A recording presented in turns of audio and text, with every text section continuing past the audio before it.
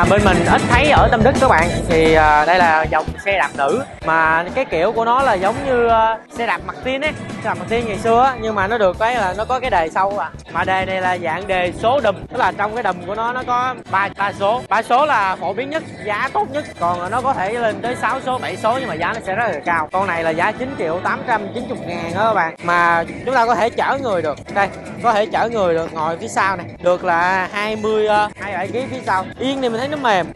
Nói chung là con xe này là để mà đi học á thì khá là ok luôn hoặc là để đi chợ này kia đi làm này kia thì nó hơi tiện. Có cái lỗ để chúng ta để đồ ở đây.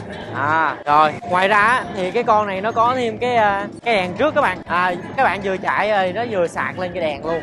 À, chạy thì nó sẽ thấy kiểu giống như mặt tin thì xưa nó cũng có cái đèn nhưng mà nó va vô trong cái cái bánh đó, nó hơi nặng nhưng mà con này thì nó đã gắn dưới đầm luôn. À, chạy xe khóa lại đồ đàng hoàng dặn lên dặn xuống.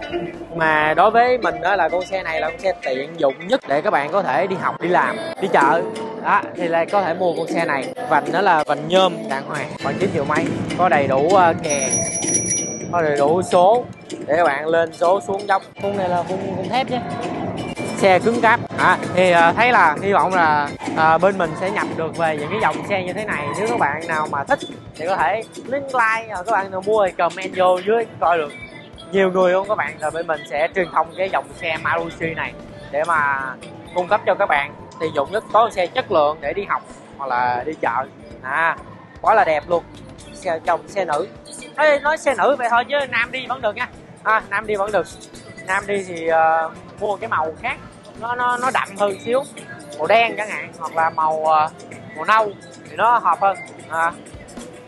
rồi giờ sẽ tiếp tục tham quan những cái gian hàng khác.